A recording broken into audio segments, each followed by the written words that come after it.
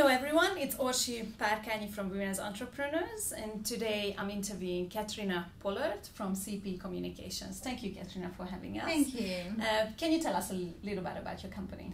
So we're a PR and social media agency. So we develop PR and social media strategies um, and implement those for a wide range of industries from aged care through to hospitality and everything in between.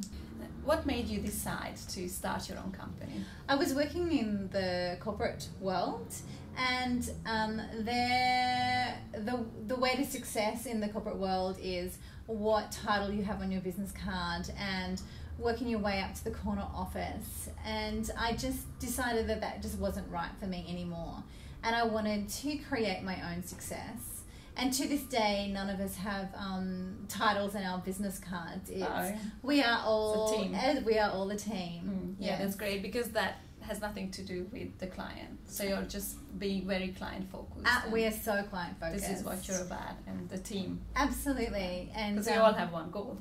We all have one goal, and that is to, as I say here, without clients, we have no business. So it's all about the clients for us. Mm. Um, it's not about who can get the corner office or yeah. um, it. So it, yeah, it's very much about Thank you. the client. Um, who who inspires you, or did you have any inspiration when you started out? I find inspiration all around me. I find inspiration by looking in the sky, looking at the trees. It's all around us, and you know, we have an inspiration room in our office. We so we have two meeting rooms. I gave my office to a room that was now called the inspiration room. When I entered the office, let me just say, inspiration welcomed me written on the floor. It's so it is something which is very important, obviously. Absolutely, because it's not only about. Um, the inspiration that we we get to be creative, but it's actually how we inspire people. Mm. So um, it's how we inspire our clients, and it's how we inspire each other. Mm. So um, it inspiration is a, a, key word for me. Um, it's a key part of my life. So it's all around I, me. What I also admire about you that you. Uh, you help other women, you inspire other women, mm. and just empowering other women is really important to you. And you've done a lot of work in that area. Yes, absolutely. It's where does it come from? Well, I, um, it's just I think that it's really important that women inspire other women, and that we we help other women succeed in their businesses or succeed in their career or succeed in their lives.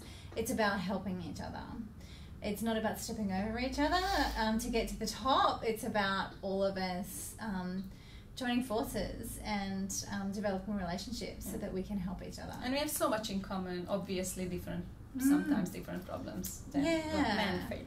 Yeah, and the, my business CP Communications, as well as myself personally, do lots of work in the women's space, the women in business space. I've developed um, and created communities for women online and in person um, to help to help and inspire them. Mm.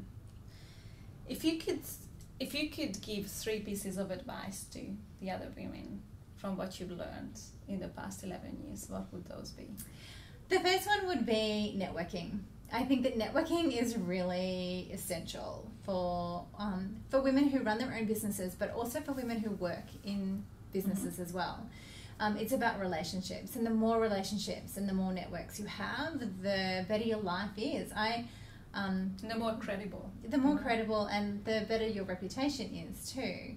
And we get all of our clients through referrals, um, and that's, that's a result of me networking for eleven years. Um, but I've also made amazing friends and, and beautiful business relationships from meeting people at networking functions. Um, the second thing is having um, confidence and belief in yourself and your abilities. I think that's really important. Um, and I think that we are responsible for that for ourselves um, to um, to learn and to train and um, to read books that help us with our confidence. and the third thing is to stick with it. I think you know there are hard days and hard weeks. It's going to be up and down. It's going to be up and down, and I um, and just sticking with it. It's it, having your own business is amazing, but it's hard as well. Yeah. So just sticking with it and just you know putting one foot in front of the other and keep keep on going. Have you always doubted your decision, or you have no regrets? I have absolutely no regrets whatsoever. I absolutely love my business. It's not to say that there have been times that I've wondered what I was doing. um, but I have no regrets. Absolutely. I think that, that if you if if somebody has an idea about a business or they are inclined to give it a go, then absolutely give it a go. Mm what is a typical day like for you? I know it's it. every day is different, but what is a typical day for you? What gets you going? What keeps you? Uh, my team of people are amazing. I love coming in and um, spending the day with the team, um, and we all respect and help each other out. So it's very much a team environment here.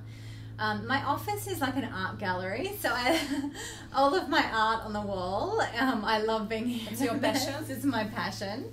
Um, but I'm in meetings a lot of the time. Um, a lot of my days are meetings. Um, I spend a lot of time doing strategy work for clients um, and working with the team, editing their work and brainstorming uh, new ideas and new media angles and new ways of of getting media coverage for clients. Mm. And do you have any hobby? What what was I? What is your hobby? My hobby is uh, fiber sculpture, which is using. It's very interesting. Yeah, it is, and it's using plants. So what I love about fiber sculpture is it's actually you're not consuming anything. So I'm not buying paints or um, buying anything. I'm literally finding plants. Um, and drying them out and then weaving them or constructing them into a sculpture. Wow. Yeah. So it's great. It's my creativity. How did you get into that? I don't know. I'm naturally um, uh, artistic and creative, so I have yeah. done every single course under the sun, and I um, I was just uh, I, I just really like the idea of working with natural fibers um, I love gardening and I am you know I love being in nature so I really like the idea of to me art is seeing something and going well well what shape can I put that into like that yeah. might be a plant but uh, someone sees that as a plant but I see that as a sculpture mm. so um, and it's applying that creative thinking Creative. to it mm. yeah and can you switch off so you when you finish work Mm. You can just switch over. Uh, it's important. It is really important, and I do find that well, running your own business, um, you know, it's a bit of a twenty four seven um, job actually. Mm. Uh, so you know, I, I have been um, periods in my life where I've been really burnt out, um, and so I've had to really actively.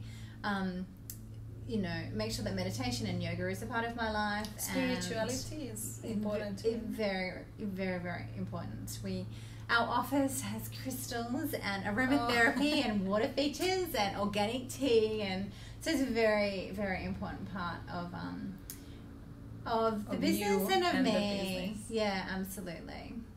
Thank mm. you very much. Thank you, Kat- Catriona, for having us. Thank you. You watched Women as Entrepreneurs with Orsi and Catriona Pollard. Thank you. See you guys next time. Bye.